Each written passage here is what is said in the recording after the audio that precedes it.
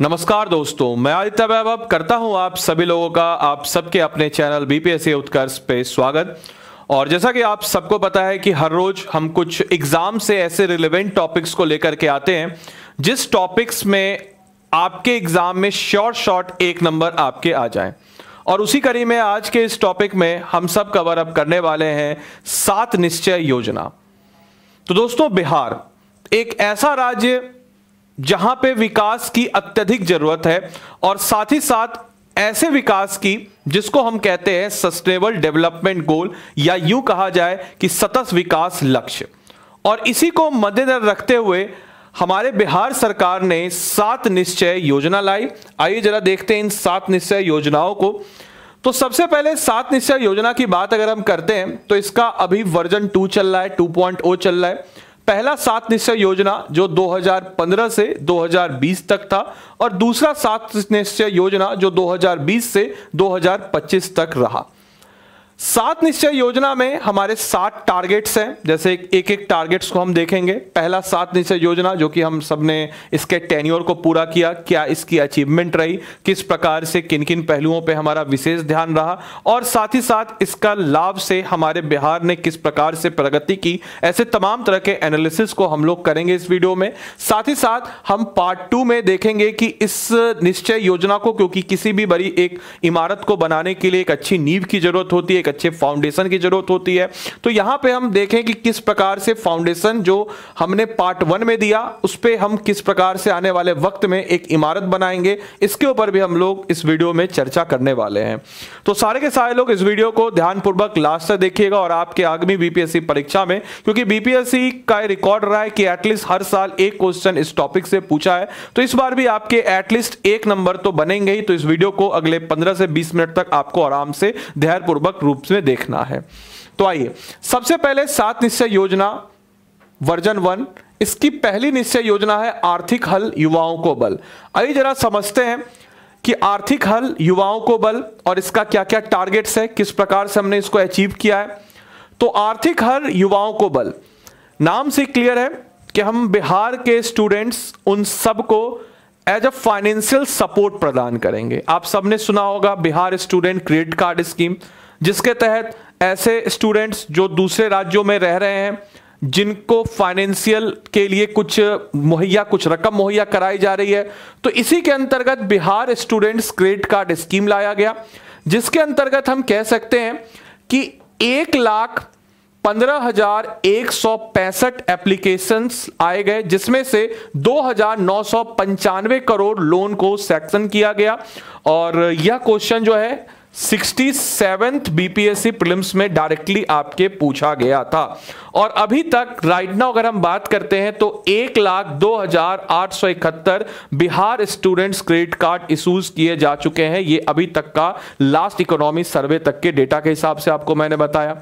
इसके अलावा इसी का एक्सटेंशन मुख्यमंत्री सेल्फ हेल्प अलाउंसेस स्कीम इसके तहत कोई भी इंसान अगर स्वरोजगार करना चाहे, यानी कि खुद का कुछ अपना काम धंधा करना चाहे तो वह इसके अंतर्गत कर सकता है।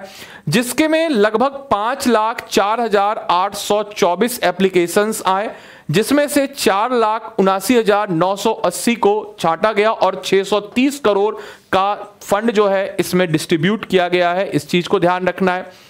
देन उसके बाद स्किल यूथ प्रोग्राम इसके अंतर्गत अगर हम बात करते हैं तो हमारे बिहार में 534 ब्लॉक्स हैं।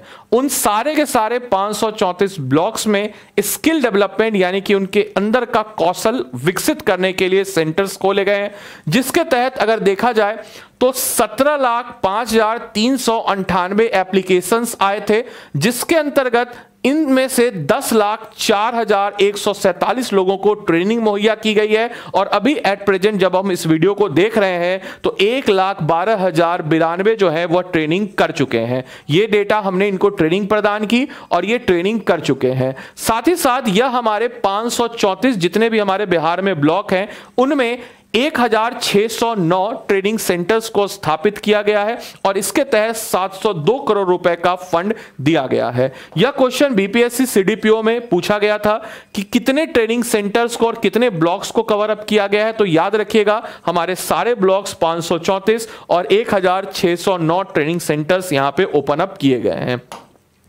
इसके अलावा हमारी दूसरी सात निश्चय योजना, जिसके ऊपर अगर हम बात करते हैं, आरक्षित रोज़गार, महिलाओं का अधिकार। जैसा कि आप सबको पता है कि हमारे पूरे भारत की या पूरी दुनिया की आधी आबादी महिला है, लगभग लगभग। और अगर हम अपनी आधी आबादी को आगे नहीं लेकर के जाएँगे तो हमारा राज्य या देश या पूरी दुनिया विकसित नहीं कर पाएगी। और अगर हम अपने बिहार के कॉन्टेक्स्ट की बात करते हैं तो हमारे बिहार में जो महिलाएँ हैं, उन महिलाओं को आरक्षित रोज़गार देना बिहार सरकार की मुहिम है, जिसके तहत हमारे बिहार में आप सब जब फॉर्म भरते हैं तो आपको पता होगा कि दो प्रकार का आरक्षण होता है। एक होता है वर्टिकल रिजर्वेशन दूसरा होता है हॉरिजेंटल रिजर्वेशन जिसको लंबवत आरक्षण कहते हैं और क्षतिज आरक्षण कहते हैं। तो इसी हॉरिजेंटल रिजर्वेशन के अनुसार सारे लेवल्स जो जॉब है, बिहार सरकार के जो अंतर्गत आते हैं, उसमें महिलाओं को 35 फ़ीसदी आरक्षण प्रदान करना यह हमारे इस योजना का लक्ष्य था, जिसको हम लोगों ने फुलफिल कर लिया और आज के डेट में जितने भी गवर्नमेंट जॉब्स जो बिहार सरकार के अंतर्गत आते हैं, उनमें महिलाओं को पैंतीस पैंतीस फ़ीसदी आरक्षण प्रदान किया जाता है। थर्ड सात निश्चय योजना, हर घर बिजली लगातार। यह बेसिकली बिहार सरकार की एक पहल थी, जो कि कोर फोकस हम कह सकते हैं, हमारे शुरुआत का जो पहला वर्जन था, नीतीश कुमार का जो पहला टेन्योर था, उसमें कि भाई बिजली और रोड्स इसकी कनेक्टिविटी प्रदान करना। जिसी के अंतर्गत आप सबने कुछ दिन पहले सुना भी होगा कि साल 2021 का जो इंडिया का बजट आया था, उसमें भी बिहार के इस योजना की तारीफ़ की गई थी। इसी योजना के तहत बिहार ने सबसे पहले तो इलेक्ट्रिसिटी कनेक्शन, जितने भी घर हैं, रूरल एरियाज़ बिहार के, जो बिहार के ग्रामीण क्षेत्र हैं, वहाँ तक कनेक्टिविटी नहीं पहुँच पाई है तो वहाँ तक कनेक्टिविटी इन लोगों ने प्रोवाइड कराई। साथ ही साथ, एक नया कॉन्सेप्ट जिसको हम कह सकते हैं prepaid meter scheme prepaid meter scheme इसका कॉन्सेप्ट भी यहाँ पर लाया गया था। प्रीपेड मीटर स्कीम जिसके तहत जैसे आज के रेट में फ़ोन होता है फ़ोन में पहले हम रिचार्ज करते हैं, फिर इस्तेमाल करते हैं। ठीक उसी के तहत जो मीटर में भी आप पहले रिचार्ज कीजिएगा, फिर इस्तेमाल कीजिएगा तो यह भी इसके अंतर्गत लाया गया। उसके बाद चौथी जो हमारी योजना थी सात निश्चय की, हर घर नल का जल।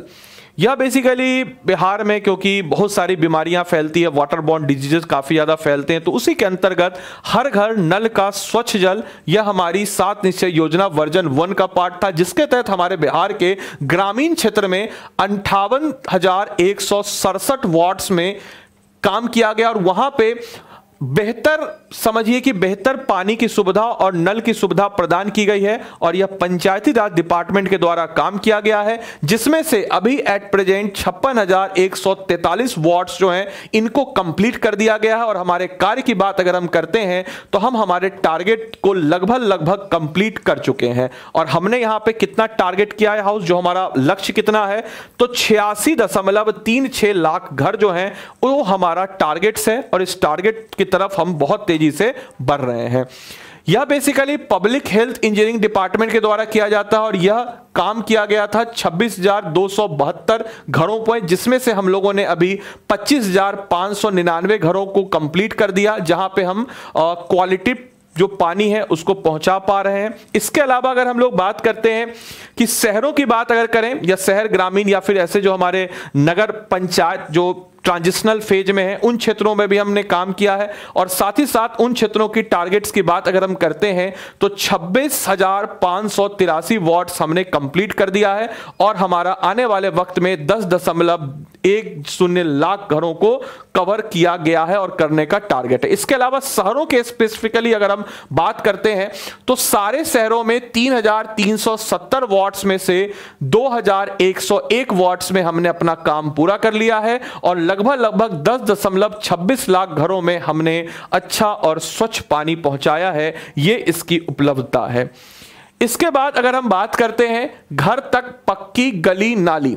घर तक पक्की गली नाली कहने का मतलब हुआ कि बिहार जो एक मानसून जलवायु वाला क्षेत्र है जहाँ पे बारिश काफ़ी ज़्यादा होती है और सबसे बड़ी समस्या हमारे बिहार में ड्रेनेज की समस्या होती है। देखते हैं पानी कैसे इकट्ठा हो जाता है। आप सब लोग अपने आसपास देख सकते हैं। अभी तो बारिश वैसी हैवी हुई नहीं, लेकिन अगर होगी तो आप देख सकेंगे, इस चीज़ को समझ पाएँगे कि कैसे पानी इकट्ठा हो जाता है और आपके घर तक जाने का या बहुत सारे ऐसे घर हैं जिनके घरों में भी पानी पहुँच जाता है और वहाँ तक एक पक्की सड़क नहीं है। तो बिहार के हर एक घर तक पक्की सड़क, साथ ही साथ वहाँ के ड्रेनेज सिस्टम को बेहतर करने के लिए यह हमारी पांचवी सातवीं पांचवी हमारी सात निश्चय योजना में से, जिसके तहत हम लोगों ने एक लाख चौदह हज़ार चार सौ उनहत्तर वार्ड्स को कवर अप किया है और यह पंचायती राज डिपार्टमेंट्स के द्वारा शुरू किया गया जिसमें से एक लाख चौदह हज़ार दो सौ अड़तालीस वार्ड्स में काम कंप्लीट हो रखा है और लगभग एक सौ छिहत्तर पॉइंट सिक्स वन लाख घर को हम लोगों ने कवर अप किया है। शहरों की बात करते हैं तो लगभग तीन हज़ार तीन सौ चालीस वार्ड्स और यह urban development and housing department के द्वारा किया गया है और 2735 वार्ड्स को हमने कंप्लीट किया है और मोटा मोटी अगर देखा जाए तो 6.86 लाख घर को यहाँ पे कवर अप किया गया है। नेक्स्ट अगर हम लोग बात करते हैं तो एक और स्कीम जो इसके लिए काफ़ी ज़्यादा इंपॉर्टेंट है। बीपीएससी ऑडिटर सर्विस जो अगस्त के महीने में अब तो खाली इंटीग्रेटेड बीपीएससी होता है। अगस्त के महीने में 2022 में हुई थी, उसमें एक क्वेश्चन पूछा गया था, ग्रामीण टोला संपर्क निश्चय स्कीम यह भी इसी के अंतर्गत आती है, जिसमें अगर हम लोग बात करते हैं तो चार टोला जो है, टोला बेसिकली शब्द इस्तेमाल किया जाता है, खासकर बिहार के। इन क्षेत्रों में, जिन क्षेत्रों की कनेक्टिविटी थोड़ी सी दूर हो जाती जो चौर, मन, इन सब जगहों पे रहते हैं। इन सब जगहों पे जो गोखुर जिल जिसको हम कहते हैं, जिसको देसी भाषा में चौर, मन, ताल, ये सब कहते हैं, उन जगहों पर चार हज़ार छह सौ तैतालीस टोला जो है, इनको कवर्ड किया जा रहा है। साथ ही साथ तीन हज़ार आठ सौ चौरासी दशमलव दो तीन किलोमीटर रोड्स कंस्ट्रक्ट यहाँ किया जा रहा है, ताकि लगभग चार हज़ार पाँच सौ बत्तीस जो घर हैं, उनको कनेक्टिविटी प्रदान की जाए। तो यह था हमारे पाँचवें सात निश्चय योजना का टारगेट, जिसको हम लगभग लगभग फुलफिल कर चुके हैं। साथ ही साथ हमारे छठे सात निश्चय योजना की बात करते हैं, जिसका मतलब है शौचालय निर्माण, घर का सम्मान। यह बेसिकली हेल्थ एंड हाइजीन से रिलेटेड है। साथ ही साथ एक हमारे सोशल स्ट्रक्चर से रिलेटेड है, क्योंकि घर का सम्मान भी इसके साथ जुड़ा हुआ है। इट मींस कि शौचालय, एक तो हाइजीन हेल्थ एंड हाइजीन के लिए काफ़ी इंपॉर्टेंट है। दूसरी चीज़ कि घर में बहु, बेटियाँ और खासकर गाँव की बात अगर हम करते हैं तो यह अगर घर से बाहर जा रही, दूर जा रही तो उनके सम्मान की भी बात होती है। तो इसीलिए शौचालय को सम्मान के साथ जोड़ करके प्रस्तुत किया गया है। इसके तहत आप को बताते चले कि आठ पंचायत जो बिहार के, जो सारे पंचायत हैं, ये बहुत ही अच्छा टारगेट हमने यहाँ पे अचीव किया है। कागजों पे ही सही, लेकिन किया तो है। लगभग लगभग हमारे बिहार के सारे पंचायत, यानी कि आठ पंचायत, ये ओडीएफ यानी कि ओपन डिफेक्शन फ्री जो है, यह घोषित कर दिए गए हैं। साथ ही साथ 123.27 लाख घर रूरल डेवलपमेंट डिपार्टमेंट के अनुसार, साथ ही साथ 534 हमारे ब्लॉक 101 सब डिवीज़न और हमारे सारे डिस्ट्रिक्ट्स को ओडीएफ मुक्त कर दिया गया है। इस चीज़ को ध्यान रखना है। तो ये हमारा सबसे बड़ा अचीवमेंट रहा है कि आज के डेट में खुले में शौच करना हमारे भारत, बिहार में बंद हो चुका है, खत्म हो चुका है, क्योंकि हमने सबको टॉयलेट्स जो है प्रोवाइड करा चुका है। इसके साथ ही साथ तीन दशमलव आठ दो लाख जो है इंडिविजुअल टॉयलेट्स हमने बनाए घरों में। साथ ही साथ ऐसे, जैसे मान के चलिए कहीं पे रीच अगर नहीं हो पा रहा है जगह नहीं है किसी के घर में या कहीं पे तो उस केस में हम तेरह जो है कम्युनिटी टॉयलेट्स का भी निर्माण किए हैं, जो कि कंस्ट्रक्ट किया गया है urban development and housing department का। साथ ही साथ लगभग तीन हज़ार तीन सौ सड़सठ अर्बन वार्ड्स और एक सौ म्यूनिसिपल कॉर्पोरेशन को हमने ओ ओडीएफ यानी कि खुले में शौच मुक्त जो है इसको कर रखे हैं तो ये हमारा एक बहुत तगड़ा अचीवमेंट यहाँ से हमें नज़र आ रहा है। और हमारे सात निश्चय योजना वर्जन वन की बात करते हैं तो अवसर बढ़े, आगे बढ़े, अगर हम इसकी बात करते हैं तो हमारे बिहार में लगभग एएनएम इंस्टीट्यूट यानी कि ऑक्सिलरी नर्स एंड मिडवाइफ्स ये लगभग 36 सब डिविजन्स में ओपन अप किए गए हैं और हमारे 101 सब डिविजन्स की बात करते हैं तो उस 101 सब डिविजन्स में से 36 सब डिविजन्स में इसको ओपन अप किए गए हैं। साथ ही साथ चौवन सब डिविजन्स को हमने यहाँ पे टारगेट किया। इसके अलावा जीएनएम जिसको हम कहते हैं जनरल नर्सिंग एंड मिडवाइफ इसकी बात अगर हम करते हैं तो हम हमारे 12 डिस्ट्रिक्ट्स में इस इंस्टीट्यूट को ओपन अप कर रखें ताकि हम हमारे हेल्थ एंड सेक्टर को बेहतर कर सकें। टारगेट हमारा तेईस जिला है। साथ ही साथ पैरामेडिकल इंस्टीट्यूट की बात अगर हम करते हैं फार्मेसी कॉलेज हो गया, ये सब सारे कॉलेज हो गए, इसके तहत बात करते तो हमने 12 डिस्ट्रिक्ट्स में अभी ओपन अप कर लिया है और हमारा टारगेट है बिहार के 28 जिलों में पैरामेडिकल इंस्टीट्यूट्स को ओपन करना। साथ ही साथ फार्मेसी इंडस्ट्री की बात करते हैं तो फार्मेसी कॉलेज हमने पाँच डिस्ट्रिक्ट में ओपन अप किया है। पाँच डिस्ट्रिक्ट हमारा टारगेट है, जिसमें से हमने तीन डिस्ट्रिक्ट में फार्मेसी फार्मेसी इंस्टीट्यूट जो है, इसको ओपन कर दिया। साथ ही साथ बीएससी नर्सिंग की पढ़ाई हमने हमारे बिहार के चार मेडिकल कॉलेज में शुरू किया इस योजना के तहत और तीन नए मेडिकल कॉलेज बनाने की बात कही जा रही ताकि बिहार का बच्चा भी यहीं पढ़ेगा, बिहार का बच्चा यहाँ से पढ़ लिख करके समझदार होगा और काम भी यहाँ पे करेगा। साथ ही साथ चौदह पॉलिटेक्निक इंस्टीट्यूट जो है, इसको भी ओपन किया गया, जिसको आईटीआई करना हो या फिर जैसे मान के चलिए किसी को आईटीआई या फिर कुछ ऐसे जूनियर इंजीनियर्स वाले जो होते हैं जॉब जिसमें बहुत सारे जॉब्स निकलते हैं तो उसके अंतर्गत चौदह नए पॉलीटेक्निकल टेक्निकल इंस्टीट्यूट जो है, इसको ओपन अप किया गया है बिहार में। इसके अलावा ग्यारह इंजीनियरिंग कॉलेज नौ वुमेन इंडस्ट्रियल ट्रेनिंग इंस्टीट्यूट जिसमें खासकर महिलाओं को, जैसे महिलाएँ अगर देखा जाए तो बुनकर का काम बहुत अच्छा कर सकती है वीविंग का काम, या फिर जो ट्रेडिशनली वह जानती है तो उन सब के लिए स्पेशल महिलाओं को कैटेगराइज करते हुए, उनके कौशल को निखारने के लिए नौ वुमेन और इंडस्ट्रियल ट्रेनिंग इंस्टीट्यूट ओपन किए गए हैं। साथ ही साथ बत्तीस sub divisional level training institute Bihar में ओपन अप किए गए हैं। और इस तरीके से हमने हमारे सात निश्चय योजना के सातों लक्ष्य को पूरा कर दिया है।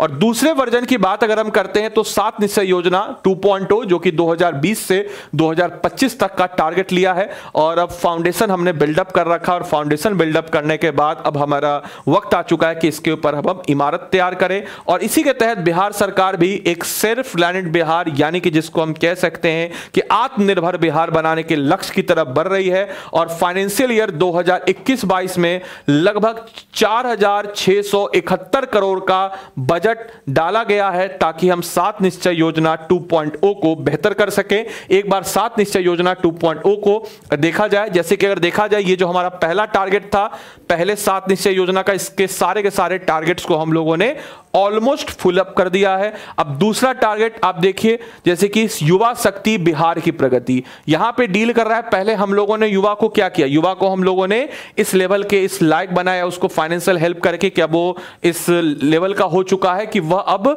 शक्तिशाली हो चुका है। कहने का मतलब कि वह अब ह्यूमन रिसोर्स बन चुका है, वह अब मानव संसाधन बन चुका है। और जब युवा मानव संसाधन बन चुका है मतलब बिहार की प्रगति तय है तो यह पार्ट टू में है।